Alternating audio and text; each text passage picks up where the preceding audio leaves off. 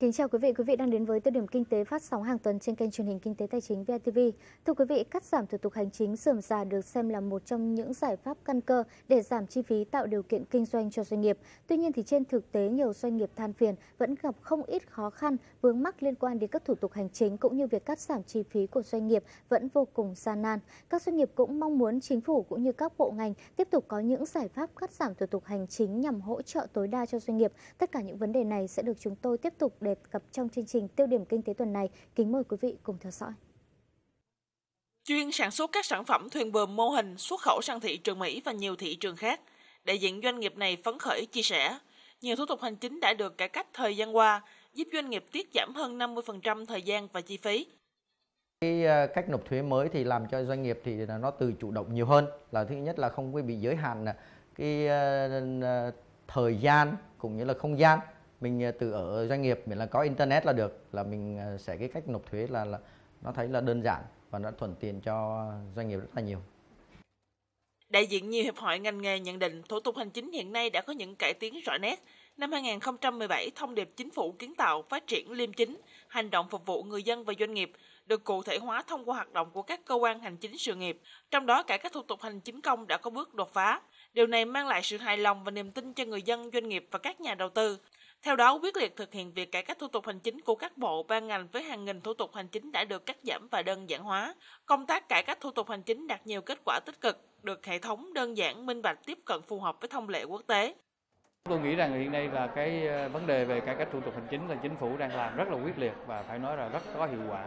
trong cái thời gian vừa rồi. Rất là nhiều các cái điều kiện kinh doanh đã được gỡ bỏ và cũng có rất là nhiều vấn đề cũng được chính phủ quan tâm rất là đúng mực ví dụ như vấn đề về Ờ, công bố hợp quy hoặc một số các vấn đề về phí và các vấn đề về liên quan đến thuế liên quan một số các vấn đề liên quan. Thì tôi cho rằng là uh, hiện nay với cái sự quan tâm của chính phủ đặc biệt là đặt cái vấn đề là cái đồng hành cùng với doanh nghiệp thì về phía hiệp hội chúng tôi cũng đã có những cái hoạt động thường xuyên hơn để tiếp tục là phát hiện những cái vấn đề chưa được hợp lý hoặc là chưa được coi như giải quyết thấu đáo. Thì trên cơ sở cũng có những cái sự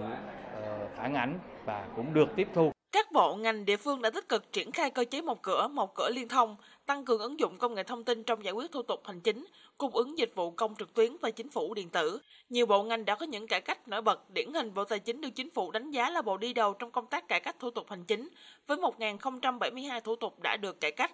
Tiếp đến, Bộ Công Thương là bộ có nhiều chuyển động và cải tiến mạnh mẽ. Cắt giảm 402 danh mục trong tổng số 702 danh mục mặt hàng xuất nhập khẩu phải kiểm tra chuyên ngành. Đã có 3 cuộc cách mạng trong cắt giảm đơn giản hóa thủ tục hành chính, điều kiện kinh doanh.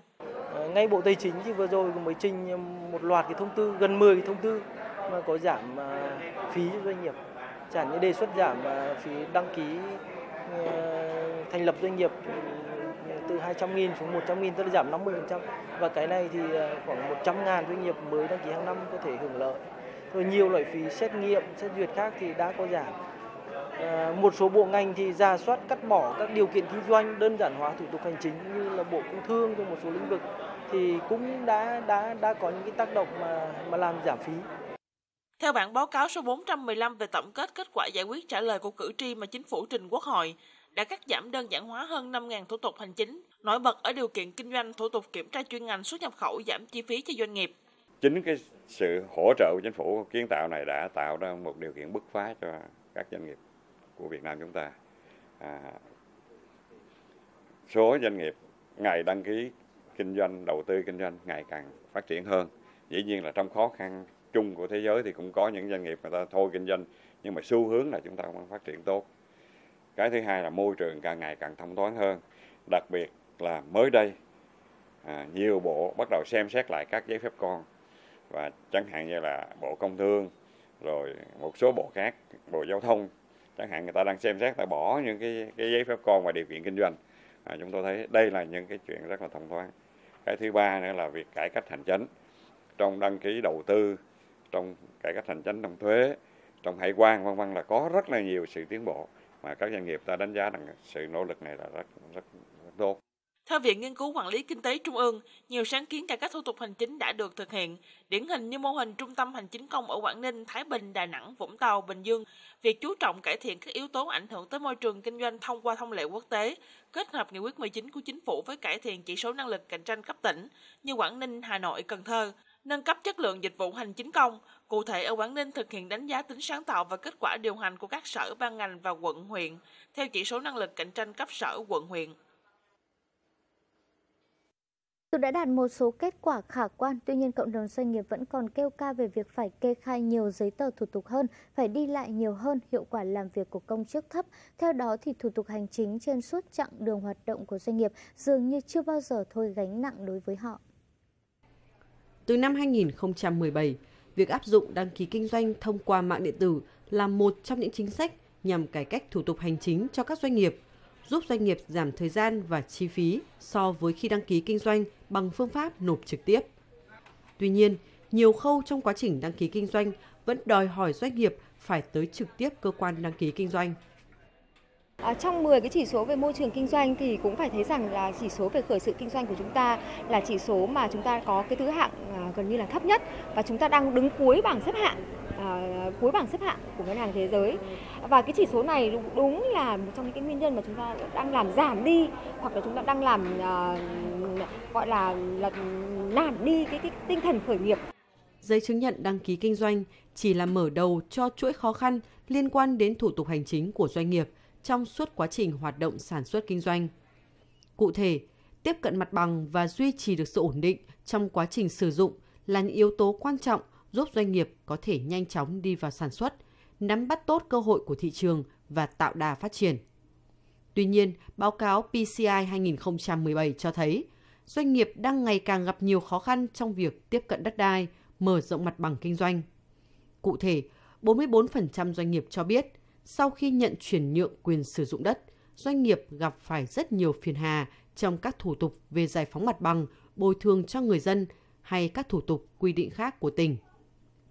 Khó khăn lớn ở việc là doanh nghiệp à, thấy cái sự à, rủi ro hơn trong việc sử dụng đất, tức cái tính ổn định của sử dụng đất chưa được đảm bảo. Thì đấy là những cái yếu tố mà tôi cho rằng là cần phải cải thiện, cần phải thúc đẩy trong thời gian tới. Đáng chú ý, dù ngành thuế và hải quan đã mạnh tay cải cách hành chính, nhưng nhiều doanh nghiệp vẫn than khó vì không ít thủ tục còn dườm ra, như thủ tục dành cho các doanh nghiệp nợ thuế, phạt chậm nộp thuế còn dườm ra, phức tạp, làm khó doanh nghiệp. Hay quá trình giải quyết thủ tục hành chính, cán bộ hải quan còn yêu cầu một số văn bản, giấy tờ ngoài quy định, khiến thời gian giải quyết thủ tục kéo dài hơn trên thực tế. Thực ra mà nói thì cộng đồng doanh nghiệp và người dân hiện nay đang chịu rất nhiều chi phí không chính thức. Chi phí không chính thức nhất ấy là do tính không chuyên nghiệp của người làm công tác thực hiện nhiệm vụ. Cho nên là hướng dẫn mỗi người hướng dẫn một kiểu, mà cùng một người hướng dẫn hai ngày khác nhau, lại hướng dẫn hai kiểu khác nhau. Cho nên trước hết là người dân phải đi lại. Và trong số đó có một số nhỏ là con sâu là lợi dụng cái sự đi lại nhiều lần của người dân đó để hướng dẫn và tranh thủ thu thêm phí. Về vấn đề kiểm tra chuyên ngành, hiện còn quá nhiều văn bản, thông tư, nghị định trồng chéo của các cơ quan chuyên ngành làm doanh nghiệp dễ bị nhiễu loạn và rối loạn thông tin. Theo thống kê của Viện Nghiên cứu Quản lý Kinh tế Trung ương, một năm doanh nghiệp bỏ ra 28,6 triệu ngày công với chi phí 14.300 tỷ đồng để làm thủ tục kiểm tra chuyên ngành. À, nhập khẩu rồi xuất khẩu là diễn ra càng ngày càng tăng. Thế nhưng cái thủ tục của chúng ta thì nhiều khi nó còn tăng lên. Rồi các cái thủ tục kiểm tra chuyên ngành Ờ, là nó phức tạp dẫn tới là hàng hóa tồn động lưu kho mất nhiều thời gian, tăng nhiều chi phí. Đặc biệt, với sự chỉ đạo của Thủ tướng Chính phủ, các bộ, ngành địa phương đã ban hành nhiều chính sách ưu đãi đối với các lĩnh vực ưu tiên như cho doanh nghiệp nhỏ và vừa tiếp cận với nguồn vốn lãi suất thấp, cho doanh nghiệp trong phát triển ngành công nghiệp hỗ trợ, ngành nông nghiệp công nghệ cao. Tuy nhiên, sau nhiều năm ban hành chính sách, bản thân các doanh nghiệp vẫn gặp nhiều khó khăn trong tiếp cận cơ chế ưu đãi. Chẳng hạn thủ tục thành lập khu nông nghiệp ứng dụng công nghệ cao cực kỳ phức tạp, phải qua nhiều bộ ngành, tiêu chí chứng nhận doanh nghiệp ứng dụng công nghệ cao chưa rõ ràng. Đưa ra một nghị định mới, nghị định 75 để thu hút các doanh nghiệp để đầu tư vào nông nghiệp, nông thôn. Trước đấy rất nhiều năm chúng ta đã ra cái nghị định 210 cũng với nội dung tương tự. Thế nhưng mà tại sao suốt một thời gian dài số doanh nghiệp vẫn không vượt lên được cái tỷ lệ 1%. À, đặc biệt là hầu như không có doanh nghiệp nước ngoài nào là muốn đầu tư vào nông nghiệp cả. Các đại gia đấy rất là lẫy lừng cho các lĩnh vực về công nghiệp, về uh, về nhà cửa đất đai đấy là cũng muốn đầu tư vào nông nghiệp mà họ thực sự thực tâm muốn đầu tư vào nông nghiệp nhưng mà rất hết sức khó đếm đi đếm lại trong nông nghiệp cũng chỉ có một số các doanh nghiệp mà gọi là kiên trì nhất dũng cảm nhất như là uh, Vinamilk như là TH2 Milk như là các cái doanh nghiệp tôm vân vân một số như lập trời một số doanh nghiệp là vẫn kiên cường đứng lại trong nông nghiệp không chỉ khó khăn trong hoạt động kinh doanh ngay cả thủ tục phá sản doanh nghiệp cũng rất phức tạp Cụ thể, thời gian để thực hiện thủ tục phá sản của một doanh nghiệp Việt Nam là 5 năm, trong khi ở khu vực chỉ là 2,7 năm.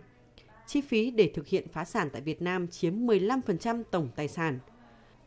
Trong số 178 nền kinh tế được IFC tiến hành đánh giá, mức độ dễ dàng về thực hiện thủ tục phá sản tại Việt Nam đứng thứ 121. Theo tính toán của Viện Nghiên cứu Quản lý Kinh tế Trung ương, với một thủ tục hành chính, doanh nghiệp phải làm trong 10 ngày cử riêng một người để thực hiện thủ tục này. Lương nhân viên này là 5,7 triệu đồng một tháng, trung bình 200.000 đồng một ngày nhân với 10 ngày thực hiện thủ tục là gần 2 triệu đồng. Với khoảng hơn 500.000 doanh nghiệp thì chi phí riêng thủ tục hành chính này là 2 tỷ đồng. Tuy nhiên, đây mới chỉ là một thủ tục hành chính, còn rất nhiều thủ tục khác nữa. Và hoàn thiện được số thủ tục này thì doanh nghiệp đã mất đi cơ hội kinh doanh. Từ những ghi nhận và phân tích ở phóng sự trên, chúng ta có thể thấy cải cách thủ tục hành chính vẫn còn nhiều bất cập, vì vậy cần nhiều hơn nữa những đột phá, những giải pháp triệt để và quyết liệt trong cải cách thủ tục hành chính. Từ những mặt còn hạn chế và sự cần thiết của cải cách thủ tục cho doanh nghiệp, thủ tục hành chính tiếp tục đặt ra những yêu cầu đột phá. Theo đó, Nghị quyết 19-2018 tiếp tục yêu cầu hoàn thành việc bãi bỏ ít nhất 50% số quy định hiện có về điều kiện kinh doanh, Kiến nghị bãi bỏ một số ngành nghề kinh doanh có điều kiện theo danh mục ngành nghề kinh doanh có điều kiện của luật đầu tư, giảm ít nhất 50% các mặt hàng phải kiểm tra chuyên ngành. Đồng thời chuyển đổi mạnh mẽ cách thức quản lý nhà nước từ chủ yếu tiền kiểm sang chủ yếu hậu kiểm, xóa bỏ căn bản tình trạng một mặt hàng chịu sự quản lý, kiểm tra chuyên ngành của nhiều hơn một cơ quan, giảm tỷ lệ các lô hàng nhập khẩu phải kiểm tra chuyên ngành tại giai đoạn thông quan từ 25 đến 27%, hiện nay xuống còn dưới 10%. Nghị quyết 19 sắp tới thì vượt một là cải tiến cái hoạt động hành chính toàn bộ từ trên xuống dưới cho nó sát sao và có sự kiểm tra có sự theo dõi làm thế nào để đồng bộ khi mà triển khai ra một cái nghị quyết 19 thì các bộ người ta phải biết có kế hoạch thực hiện họ là cái gì rồi tiến độ thực hiện tới đâu điều đó là điều quan trọng trong việc tổ chức thực triển khai cái nghị quyết Đồng thời đẩy nhanh tiến độ ứng dụng công nghệ thông tin trong giải quyết thủ tục hành chính, thực hiện dịch vụ công trực tuyến đến hết năm 2018 Hầu hết các dịch vụ công phổ biến liên quan đến người dân và doanh nghiệp được cung cấp ở cấp độ 3 và 4. Chúng tôi tập trung vào bốn nhóm giải pháp. À, nhóm giải pháp thứ nhất là cải cách hành chính và tạo điều kiện thuận lợi cho doanh nghiệp. À, giải pháp thứ hai là à, giảm chi phí À, thực hiện thủ tục hành chính cho doanh nghiệp. Giải pháp thứ ba là bảo vệ cái quyền và lợi ích hợp pháp của doanh nghiệp. Và giải pháp thứ tư là à, hỗ trợ để phát triển doanh nghiệp. À, đối với những cái giải pháp về cải cách thủ tục hành chính và hỗ trợ cho doanh nghiệp thì chúng tôi thường xuyên tổ chức các buổi đối thoại với doanh nghiệp nhằm nắm bắt những cái tâm tư, những cái khó khăn, vướng mắc của các doanh nghiệp À, trên địa bàn thành phố để mà à, tháo gỡ kịp thời giải đáp những khó khăn vướng mắc của doanh nghiệp xoay quanh cái à, chính sách về về chính sách và thủ tục về thuế Dự thảo nghị quyết của chính phủ ban hành, chương trình hành động cắt giảm chi phí cho doanh nghiệp đã đưa ra hàng loạt yêu cầu cắt giảm thủ tục liên quan đến thành lập doanh nghiệp, thủ tục về lương, bảo hiểm xã hội, các thủ tục liên quan đến phí, lệ phí, tiền thuê đất được liệt kê chi tiết với các quy định cần phải sửa đổi. Đặc biệt có một đầu mục dành cho yêu cầu giảm phí không chính thức. À, giải pháp thì chắc hẳn là một không phải một giải pháp duy nhất mà có thể giải quyết được vấn đề này. Nhưng mà cái những cái mà chúng ta cần phải xây dựng đó là những cái sự minh bạch về việc xây dựng thủ tục về tăng cường cái tính liêm chính của những cơ quan thực hiện những cái thủ tục hải quan cũng như là thủ tục thủ tục hành chính này. Ờ, rồi là những cái uh, cơ, cơ chế để giám sát đối với quá trình thực hiện những thủ tục hành chính này cần phải được cải thiện bên cạnh đó những cái biện pháp làm nâng cao cái uh, giảm bớt những cái trình tự thủ tục uh, giảm bớt những cái gánh nặng về chi phí và làm minh bạch hóa toàn bộ quá trình này nó ờ, áp dụng những cái công nghệ điện tử, chính phủ điện tử có thể góp phần được cái giải quyết được những vấn đề vấn đề này. Theo ông Phan Đức Hiếu, Phó Viện trưởng Viện Nghiên cứu Phát triển Kinh tế Trung ương, bước đột phá cần phải thực hiện là cần có những hành động quyết liệt hơn nữa trong các giảm điều kiện kinh doanh không cần thiết, bởi vì các giảm điều kiện kinh doanh thời gian còn khá chậm. Thì tôi cho rằng là lần này một số cái điều kiện lên mạnh dạn cắt bỏ nếu như đó là các điều kiện mà nó can thiệp quá sâu vào trong hoạt động kinh doanh của doanh nghiệp và nó làm gia tăng cái chi phí hoặc là những cái điều kiện mà nếu như ngay cả khi nhà nước không quy định thì doanh nghiệp người ta vẫn phải làm để kinh doanh thì đó là những cái quy định mà chúng ta hoàn toàn có thể loại bỏ được. Theo các chuyên gia, trong thời gian tới, rất cần thêm những bước đột phá trong cải cách thủ tục hành chính cho doanh nghiệp. Nổi bật như mô hình trung tâm hành chính công, việc thực hiện cơ chế một cửa gắn với ứng dụng công nghệ, cung cấp thông tin trên môi trường điện tử tại cơ quan nhà nước cần được đẩy mạnh thực hiện. Bởi nếu cải cách thủ tục hành chính nước ta không có những đột phá thì doanh nghiệp sẽ không có đòn bẩy để cạnh tranh với các nước trong khu vực và thế giới. Thưa quý vị, việc cải thiện môi trường đầu tư kinh doanh, cải cách thủ tục hành chính đang được sự ủng hộ mạnh mẽ từ cộng đồng doanh nghiệp. Các doanh nghiệp cũng mong muốn năm 2018 chính phủ cũng như các bộ ngành tiếp tục có những giải pháp nhằm hỗ trợ tối đa cho doanh nghiệp, qua đó đảm bảo môi trường kinh doanh tốt cho doanh nghiệp để có điều kiện phát triển và vươn lên hội nhập kinh tế quốc tế. Ghi nhận những ý kiến về vấn đề này, kính mời quý vị cùng theo dõi. Một cái nghị định ra một thông tư hướng dẫn thôi, đúng không ạ? Các cái bộ liên ngành phải ngồi với nhau để mà ra được một cái thông tư hướng dẫn rõ ràng. Chúng tôi không thể đọc cùng một lúc hai cái chỗ để chúng tôi đi đi, đi, đi triển khai được. Có quá nhiều các cái công đoạn, quá nhiều thủ tục để mà ra được một cái đồng đồng vốn. Chúng tôi còn các cái doanh nghiệp thì phần lớn phải tập trung vào cái thời gian để chúng tôi đi đi đi đi phát triển thị trường, làm ra sản phẩm tốt, xong rồi phát triển thị trường. Còn cái việc hỗ trợ thì à, chúng ta nên tất nhiên là những cái lĩnh vực mà hỗ trợ về hạ tầng cơ sở thì nhà nước nên có những chính sách hỗ trợ trực tiếp về tài chính. Thì tuy nhiên thì chủ yếu chúng ta tạo điều kiện cho doanh nghiệp bằng cách hỗ trợ các cái chính sách ờ, hỗ trợ liên quan đến đến đến đến hỗ trợ doanh nghiệp là chính. Đồng thời với các cái biện pháp là đơn giản hóa cái thủ tục hành chính, ờ, giảm bớt các cái điều kiện kinh doanh cũng như là đơn giản hóa các thủ tục kiểm tra chuyên ngành để tạo ra môi trường thuận kinh doanh thuận lợi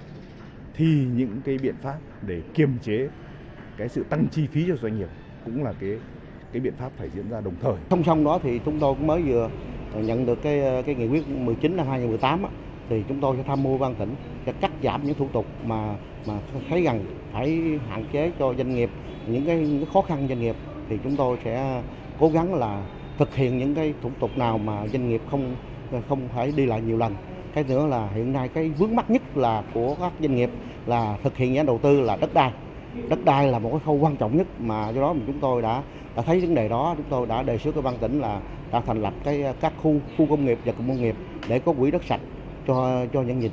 cho doanh nghiệp. Đồng thời thì đối với doanh nghiệp khởi nghiệp, Đồng Tháp cũng là một trong những cái địa phương à, có phong trào khởi nghiệp tốt. À, chúng tôi đã ờ, sẽ thành lập những cái cụm công nghiệp tại những cái thành phố mà thuận lợi cho doanh nghiệp để doanh nghiệp có cái mặt bằng sản xuất kinh doanh lần này bắt buộc phải là kết nối với mức uh, dịch vụ công ở cấp độ 4 nghĩa là hoàn toàn bằng uh, thông qua điện tử. Bỏ các cái uh, hồ sơ bằng giấy. Và có như thế có ép buộc như vậy thì hy vọng rằng người ta mới thay đổi người ta cải cách. Còn nếu như vừa cho điện tử vừa cho giấy thì chắc chắn là không bao giờ là người ta cải cách đến mức tối đa là điện tử hóa số hóa các cái thủ tục uh, cải cách hành chính nói chung và cải cách uh, các cái thủ tục về dịch vụ công hành chính công nói chung và quản lý chuyên ngành uh, nói riêng. Vừa rồi theo cái uh, chỉ đạo của thủ tướng thì uh, bộ trưởng chủ nhiệm văn phòng chính phủ đã dẫn đoàn văn phòng chính phủ và các bộ các ngành cùng ban 4 đi khảo sát uh, các cái Ờ, quốc gia phát triển trong lĩnh vực công nghệ thông tin và ở đấy, lời giải về minh bạch, lời giải để không tham nhũng ví dụ như Hàn Quốc là công nghệ thông tin những ý kiến vừa rồi cũng đã khép lại chương trình của chúng tôi ngày hôm nay. Chân thành cảm ơn sự quan tâm theo dõi của quý vị. Quý vị có thể xem trực tuyến hoặc xem lại chương trình trên website vitv.vn hoặc cập nhật thông tin qua Facebook của kênh truyền hình Kinh tế Tài chính VTV. Còn bây giờ, xin kính chào và hẹn gặp lại. Thank you.